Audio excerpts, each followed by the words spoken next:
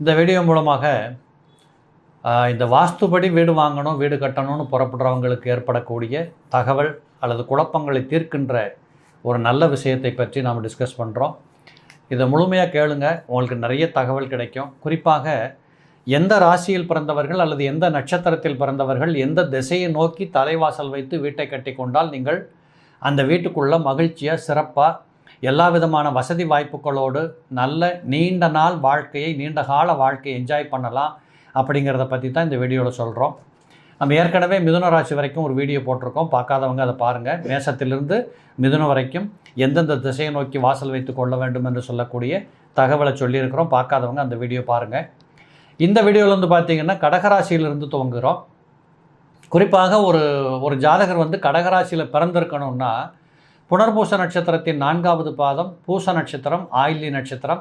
இதில் பிறந்தவங்க எல்லாருமே வந்து கடகராசியில் பிறந்திருப்பாங்க. இப்போ சில பேருக்கு சில சந்தேகங்கள் வருது உண்டு. நான் பூசத்தில் எத்தனாவது பாதத்தில் பிறந்தா கடகராசி? அப்படி இல்லை. பூச நட்சத்திரத்தின் முழு நட்சத்திரம் கடகத்திற்கு சொந்தம். ஆயில்லி நட்சத்திரத்தின் முழுமையும் கடகத்திற்கு சொந்தம்.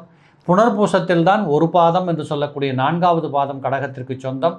ஆகையினால் புனர்பூச நட்சத்திரத்தின் நான்காவது பாதம் பூச நட்சத்திரத்தின் முழு பகுதி ஆயிலி நட்சத்திரத்தின் முழு நட்சத்திரம் இதெல்லாம் கடகத்திற்கு சொந்தம். இந்த கடகராசியில் பிறந்தவர்கள் எந்த திசையை நோக்கி வீடு அமைத்து கொண்டால் சிறப்பாக இருப்பார்கள்? அல்லது எந்த திசையை நோக்கிய மனையை பெற்றுக்கொண்டு அது மனையிலையும் அதே திசையை நோக்கி வீட்டை கட்டிக்கொண்டால் உங்களுக்கு சிறப்பம்சம் இருக்கும் அப்படிங்கிறத பார்க்குற போது கடகத்தில் பிறந்தவங்களுக்கு மிக அதிர்ஷ்டமான திசை என்று எடுத்துக்கொண்டால் வடக்கு.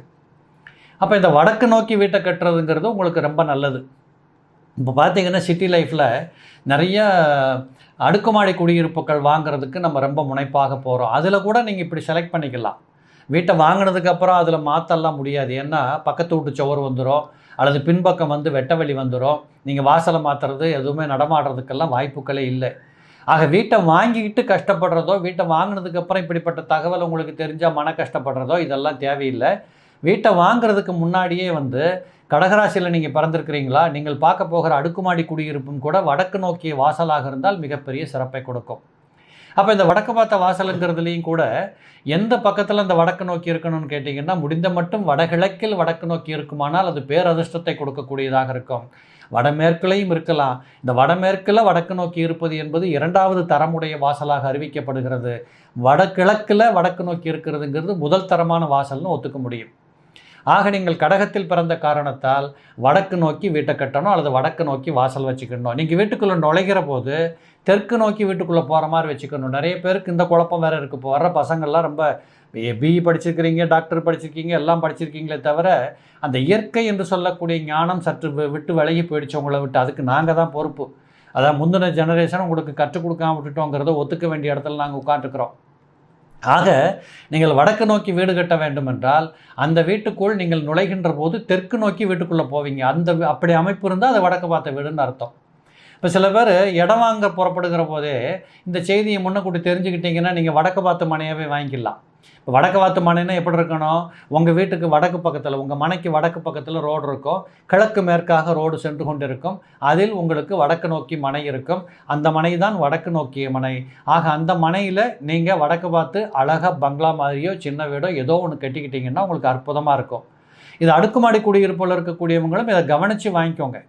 அதுக்கப்புறம் வீட்டுக்குள்ளே என்னென்ன மாற்றி கட்டணும் என்னங்கிறத மற்ற மற்ற எங்கள் வீடியோ நிறைய போட்டிருக்கு. அதை பார்த்தீங்கன்னா உங்களுக்கு தெரியும். அதனால் இந்த வடக்கு நோக்கிய வீடு என்பது கடகத்தில் பிறந்தவர்களுக்கு மிகச் சிறப்பை கொடுக்கக்கூடியதாக அமைகிறது. இதே மாதிரி சிம்ம ராசியில் பிறந்திருந்தீங்கன்னா இப்போ முதல்ல சிம்ம ராசின்னா நீங்கள் யார் எந்த நட்சத்திரத்தில் பிறந்தால் சிம்ம ராசின்னு கேட்டால் மகம் நட்சத்திரத்தின் நான்கு பாதங்கள். இந்த மகம் நட்சத்திரத்தில் பிறந்த ஒன்று ரெண்டு மூன்று நான்கு பாதங்களும் சிம்ம ராசி. பூர நட்சத்திரத்தில் பிறந்தவர்கள் சிம்ம ராசியில். நிறைய பேர் பூரம் நட்சத்திரம் பூரட்டாதி நட்சத்திரம் இதெல்லாம் குழப்பிக்கிறீங்க. பூர நட்சத்திரம் வேறு பூரட்டாதி நட்சத்திரம் வேறு. ஆக அந்த பூர நட்சத்திரத்தின் நான்கு பாதங்களும் சிம்ம ராசியில் இருக்கும். உத்தர நட்சத்திரத்தின் முதல் பாதம் சிம்ம ராசியில் இருக்கும். அப்போ மகம் பூரம் உத்திரத்தின் முதல் பகுதி சிம்மத்தில் இருக்கும். இப்படி நீங்கள் பிறந்திருந்தாலே நீங்கள் சிம்மத்தில் பிறந்ததாக அர்த்தம். சிம்ம ராசி அர்த்தம். அப்போ உங்களுக்கு ஒரு மனை வாங்கணும் வீடு வாங்கணும்னா நீங்கள் என்ன பண்ணணும்? நீங்கள் கிழக்கு நோக்கித்தான் செலக்ட் பண்ணணும். இருக்கிறது நாலு திசை தானே. அதனால் நீங்கள் கிழக்கு நோக்கித்தான் உங்கள் மனையை செலக்ட் பண்ணணும். அப்போ கிழக்கு நோக்கிய மனை என்றால் எப்படி இருக்கும்னு கேட்டிங்கன்னா நீளமாக கிழக்க பார்த்துருக்கோம். உங்கள் மனைக்கு முன்னாடி தெற்கு வடக்காக சாலை அல்லது ரோடு சென்று கொண்டிருக்கும். இதுதான் கிழக்கு நோக்கிய மனை. இந்த மனையில் நீங்கள் வீடு கட்டுகிற போது நீங்கள் கிழக்கு பார்த்து வாசல் வச்சுக்கணும். அதுலேயும் வடகிழக்கு திசையில் வடக்கு சார்ந்து கிழக்கு நோக்கிய வாசல் வைத்து கொண்டால் உங்களுக்கு மிகச் சிறப்பை கொடுக்கக்கூடிய அதிர்ஷ்டத்தை கொடுக்கக்கூடிய ஒரு வீடு உங்களுக்கு அமைந்துவிடும். அந்த வீடு என்பது மிக பிரமாதத்தை கொடுக்கும். இது ஆண்களாக இருந்தாலும் சரி பெண்களாக இருந்தாலும் சரி நீங்கள் உங்கள் ராசியின் அடிப்படையில் அந்த கணக்குப்படி நான் சொல்லுகின்ற திசையை நோக்கி ஒரு வீடு அமைத்து கொண்டால் தலைவாசல் வைத்து கொண்டால் உறுதியாக உங்களுக்கு மிகப்பெரிய சிறப்பம்சங்கள் இருப்பதை அந்த வீட்டுக்குள்ளே உணரலாம். மகிழ்ச்சியாக இருக்கலாம். தண்ட செலவுகள் வராது நட்டங்கள் வராது குடும்ப பிரிவினைகள் இருக்காது. இப்போ சில நேரங்களில் வந்து நம்ம ரொம்ப புத்திசாலி தான் அறிவாளி தான் படிச்சிருக்கோம் வேலைக்கு போகிறோம் சம்பாதிக்கிறோம் பஞ்சம் இல்லை பசி இல்லை பட்டினி இல்லை குடும்பத்தில் எந்த தொல்லைகளும் இல்லை. வருமானம் சிறப்பாக இருக்குது. ஆனால் சந்தோஷம் இல்லையே. அப்போ இந்த சந்தோஷத்துக்கு என்ன அடையாளம்னு கேட்டிங்கன்னா நாம் இருக்கிற இடம் சரியாக இல்லை என்றால் அது குடும்பத்தில் மனமகிழ்ச்சியை கொடுப்பதில்லை என்பதை வாஸ்து சாஸ்திரம் அறிவிக்கிறது. அப்போ இந்த அடிப்படையில் பார்த்தா சிம்மத்தில் பிறந்தவர்கள் அத்தனை பேர்களுமே கிழக்கு நோக்கி மனையை பெற்றுக்கொள்வது கிழக்கு நோக்கிய மனையில் வீட்டை கட்டுவது அடுக்குமாடி குடியிருப்பாக இருந்தாலும் கிழக்கு நோக்கிய வாசல் வைத்துக் கொள்வது அப்போ இந்த கிழக்கு நோக்கிய வாசல்னால் எப்படி புரிஞ்சுக்கிறது அப்படின்னு கேட்டிங்கன்னா உங்கள் வீட்டுக்குள்ளே நுழைகிற போது நீங்கள் மேற்கு நோக்கி உள்ளே போவீங்க. ஆக மேற்கு நோக்கி நீங்கள் உள்ளே போகிறீங்கன்னா அந்த வாசலுக்கு பேர் கிழக்கு நோக்கிய வாசல்னு அர்த்தம். இதை நிறைய பேர் குழப்பிக்கிறாங்க. சில பேர் கேட்குறதே உண்டு. கிழக்கு பார்த்த வீடுனா நான் வீட்டுக்குள்ளே கிழக்கு பார்த்து போகணுமா சார்னு கேட்குறவங்க இருக்காங்க. அப்படி இல்லை. ஆக கிழக்கு பார்த்த வீடு என்றால் நீங்கள் வீட்டுக்குள் நுழைகின்ற போது மேற்கு நோக்கி உள்ளே நுழைவீங்க. இதுக்கு பேர் தான் கிழக்கு பார்த்த வீடு. சரி இதே மாதிரி ஒருத்தர் கன்னி ராசியில் பிறந்திருக்கிறீங்க. இப்போ முதல்ல கன்னிராசியில் பிறந்தவங்க எந்தெந்த நட்சத்திரத்தில் பிறந்திருப்பாங்க? உத்தர நட்சத்திரத்தின் இரண்டு மூன்று நான்கு பாதங்கள். இந்த மூன்று பாதமும் சேர்ந்து மூன்று எண்ணிக்கை நான் அந்த ரெண்டு மூன்று நாலாவது பாதம் இந்த மூன்று பாதத்தில் பிறந்தவர்கள் உத்தரத்தில் பிறந்திருப்பாங்க. அவங்கெல்லாம் கன்னிராசிக்கு சொந்தமானவங்க. அஸ்த நட்சத்திரம் கன்னிராசி. சித்திரை நட்சத்திரத்தின் முதல் பாதம் இரண்டாவது பாதம் கன்னிராசி. ஆக இந்த உத்தர நட்சத்திரத்தில் மூணு பாதம் அஸ்த நட்சத்திரத்தின் நான்கு பாதங்கள் சித்திர நட்சத்திரத்தின் இரண்டு பாதங்கள் மொத்தம் ஒன்பது பாதங்கள். இந்த அமைப்புடையவர்கள் அத்தனை பேரும் கன்னிராசியில் பிறந்தவர்களாக இருப்பீங்க.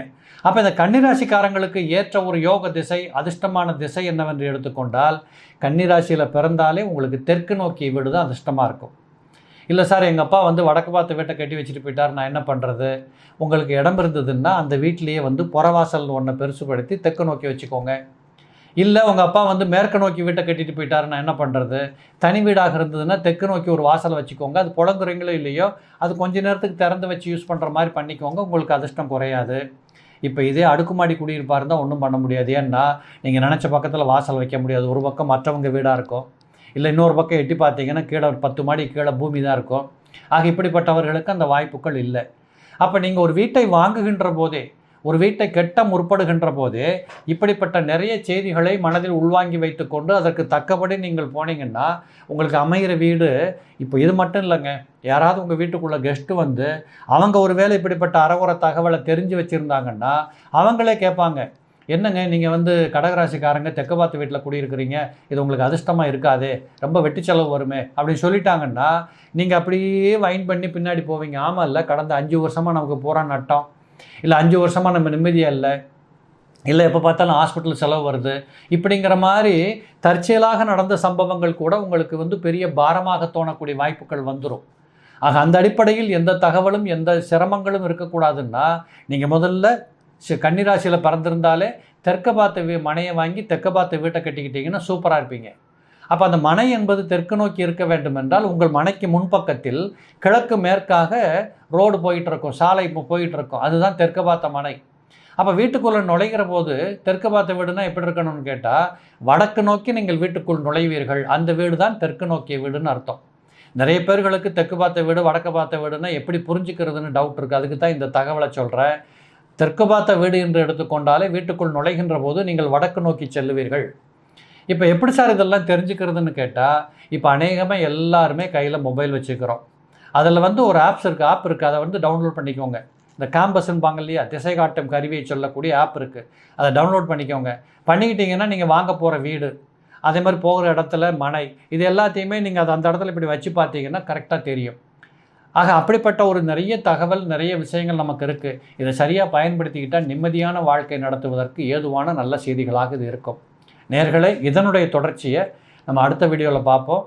கண்டுகளியுங்கள். நிச்சயமாக பயனுள்ள தகவலாக இருக்கும். உங்கள் சந்தேகங்கள் தீர்க்கப்படும். மீண்டும் சந்திப்போம் நேர்களே. நன்றி. வணக்கம்.